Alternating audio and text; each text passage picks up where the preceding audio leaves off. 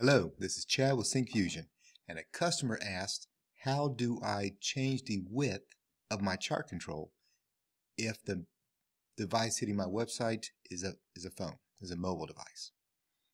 So let's take a look and get into it. Here is the actual customer question. That's pretty clear. Let's go look at the sample we made. So here's a sample running. I have it in desktop mode. A couple things. We have the tooltip here. I'll show you how the tooltip was put together. And as a bonus, I'm going to show how to rotate these labels if it's a mobile device as well.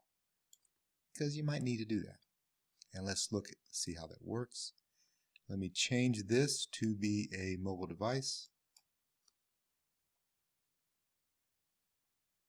So there we go. We now have the labels are rotated and for the customer request, this chart is as max width as possible for real estate on the on the on the browser. Let's go look at how we put that together. Here's our chart. Here's the HTML. Chart's going to live in this particular div, and we're bringing our controls in via CDN. So let's look at the code. We're creating our chart. Primary axis, the value is category. Category just means it's not numeric or date. It's some string value. And the key to this whole thing is right here. We're querying the browser to know is this a mobile device. If it is, then we're going to rotate the labels counterclockwise 45 degrees. It's a negative 45. So primary axis is here. Uh, then we're going to create a series. So each series is the actual line or the actual bars, in this case, that are being drawn. This particular series is a column type. The data source is here. The X name, Y name is the fields, the X and Y fields.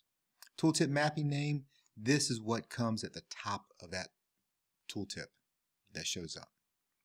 So here we're doing it for each of these. And then the width. If it is a mobile device, we want the width to be 100%. If not, we want it to be 75%. So to take a look at this, here's our tooltip. It has a tooltip mapping name on the top and then the data below that. And we are at full width. So it was just that easy. We solved or we answered the customer question. Thank you for watching.